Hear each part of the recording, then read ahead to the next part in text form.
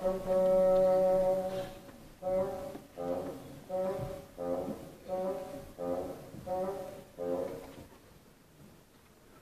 lungo ragazzo.